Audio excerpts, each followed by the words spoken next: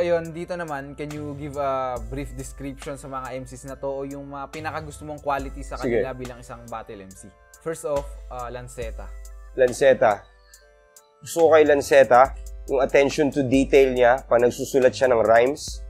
Ah, nakikita mo talaga yung internals niya, yung yung multis, kung paano siya mag-callback ng rhyme, na parang akala mo, mag-iiba na siya ng rhyme, ibabalik niya yung original rhyme na naka-sandwich sa isang katutak na internals.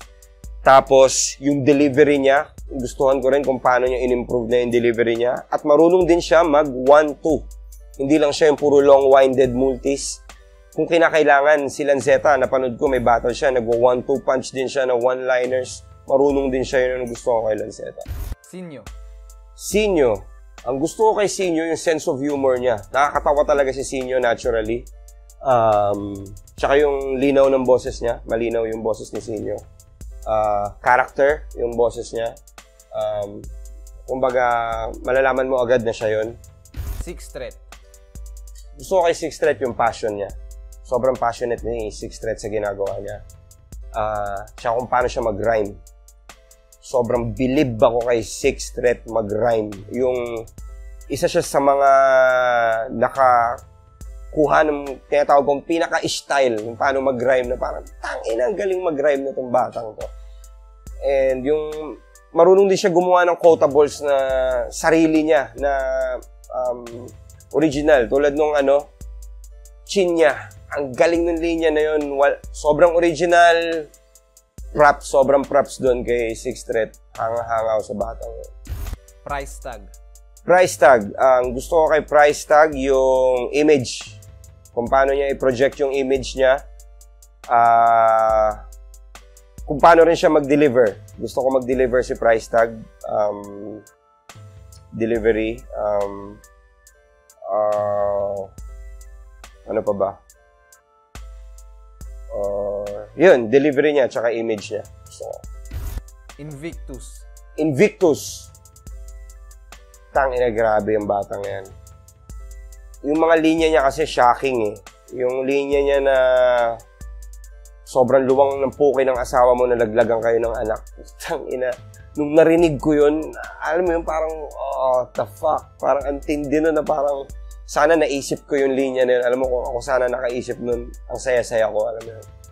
Ah, tsaka yung rapping, yung mismong rapping ano ni Invictus, um, ability niya.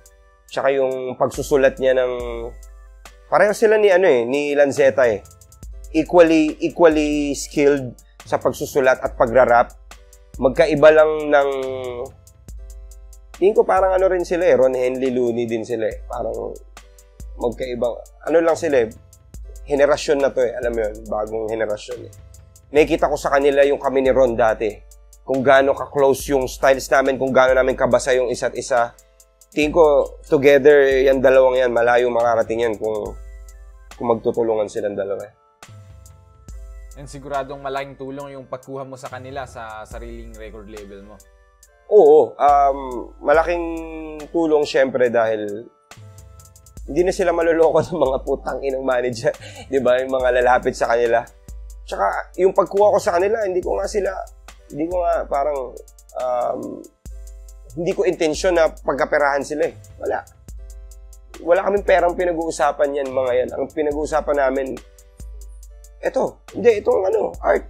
Walang pera na, yayaman tayo. Hindi. Gagawin natin yung album nyo. Pupundahan ko yung album nyo. Ako magpo-produce. Tangina, wala tayong perang pag-uusapan. Kung may perang dumating, congrats. Pero hindi yun yung goal natin.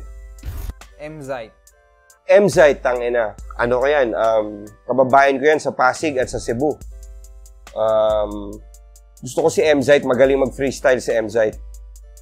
Ah,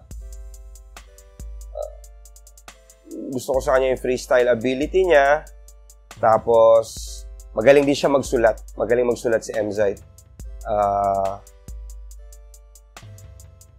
freestyle, sulat, tsaka yung ano niya, yung pag may battle siya yung ah, stage presence niya na no, nung huling battle niya, sino ba yung nap- huling kalab- kalaban niya?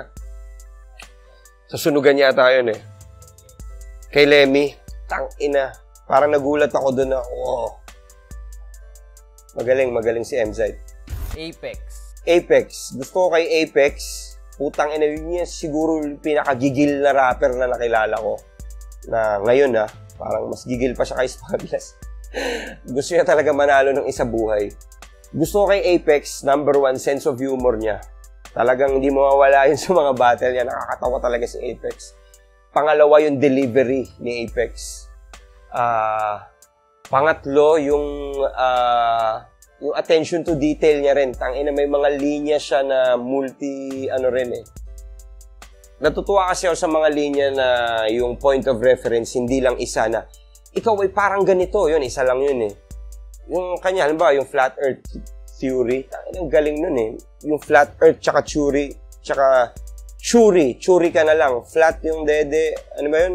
Amoy, amoy earth, tas churi, alam mo yun, sa ganong kaikling sa two bars, na, na, nailatag mo yung references.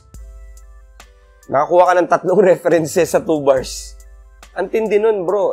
Para sa writing, matindi yun. Sobrang siksik nun. Shay.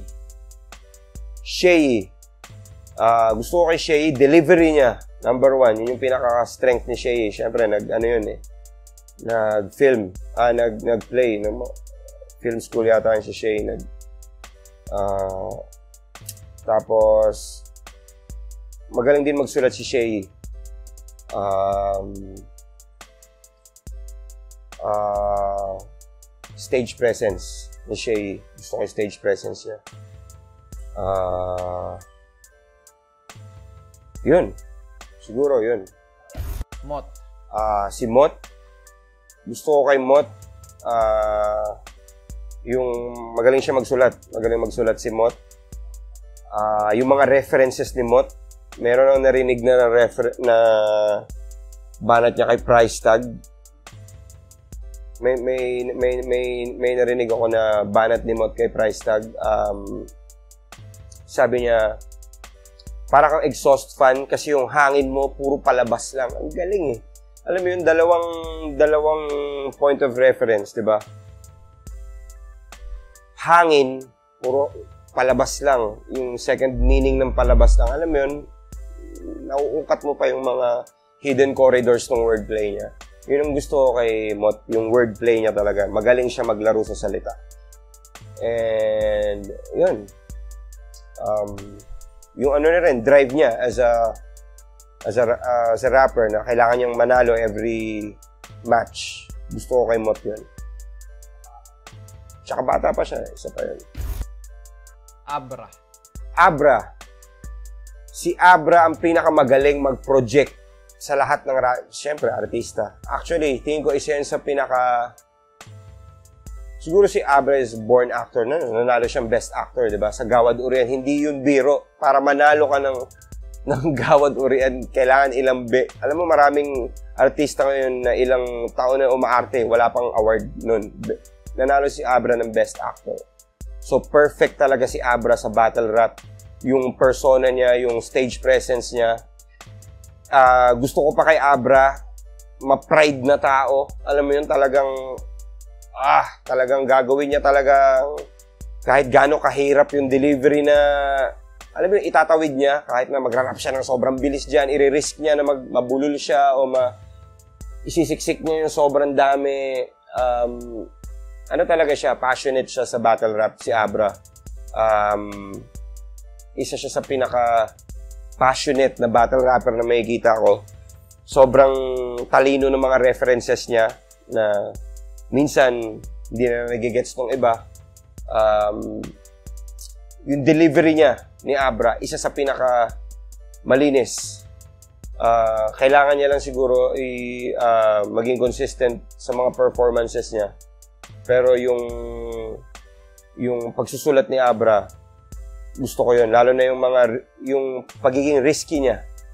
Ma- mahilig mag-take ng risk si Abra lalo na nung rebuttal niya kay Aklas na pag di mo tinigilan, tang ina chuchupain kita. Wa, nasira ulo ko nung narinig ko yun na parang sinabi mo yun, bro. Parang sobrang risk nun, pero puta nasira yung game ni Aklas. Alam mo yun, kung gaano, kumbaga si Abra parang putang ina, puputulin ko tong kamay ko para mas gumaan ako. Alam mo yun, gan sobrang admirable ng quality na yun para kay Abra. Sak maestro. Sak Maestro, isa sa pinaka, siguro, para sa akin, mas magaling siyang magsulat kay Tipsy D. Para sa akin, ha, isa yun sa pinaka, isa sa, or pantay sila, hindi ko alam eh. Magaling din si Tipsy D magsulat. Merong mga sulat si Tipsy D na parang, wow, hindi naisip ni Sakto ha, parang, alam mo yun, maraming mga ganun si Tipsy D. Pero si Sak kasi, ang gusto ko sa kanya, yung proximity ng rhymes. Hindi malayo. Yung iba kasi, halimbawa, sasabihin, uh, sa flip top. Mas marami pa sasabihin, hip hop. Pills cup. Di ba? Si ano kasi, si Sak Maestro, dito sa hip top, na whip cup, na may flip top, na rip top, na kick lock, na flip flop. Alam mo yun? Chain.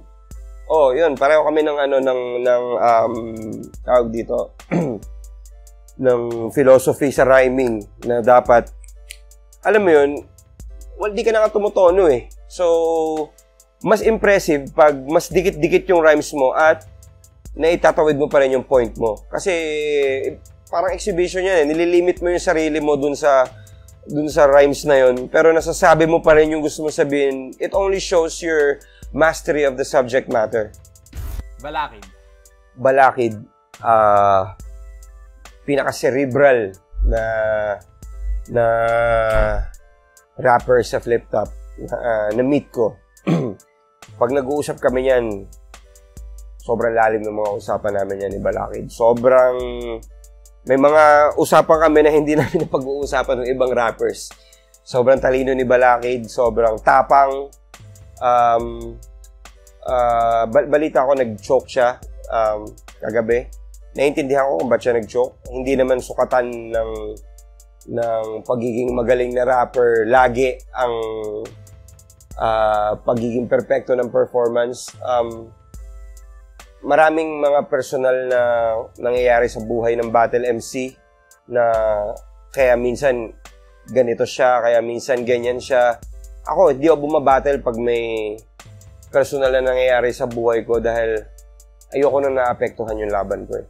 Katulad nung uh, no choice ako dun kay Shay eh, dahil natanggap ko na yung laban nung nagkaroon ako nung, nung kidney stones eh. So, wala akong choice kundi mag-push through doon sa laban na yun dahil ano yun, marami nang bumili ng ticket, ayoko ma-let down yung fans. Pero may mga, si Alan kasi, alam mo yun, um, hindi ko man alam kung ano nangyayari sa personal buhay niya ngayon alam ko na may kinalaman yun sa mga mga pagchuchok niya nitong mga nakaraan. Dahil alam ko na hindi naman hindi ganyan si Allen eh. Hindi hindi ganyan yung ano niya, hindi ganyan yung uh, natural na siya. So, tingin ko may pinagdadaanan ngayon si Allen. Pero hindi nun nababago yung opinion ko sa kanya bilang isa sa mga top 5 uh, ah, rappers ko sa liga. Hi, ako po si Looney. Nabalitaan ko po na 20% ng matatalino at matatapang na Pinoy ay nakasubscribe na sa Hip Hop Heads TV. Kaya kung ako sa inyo, alam niyo na ang gagawin niyo.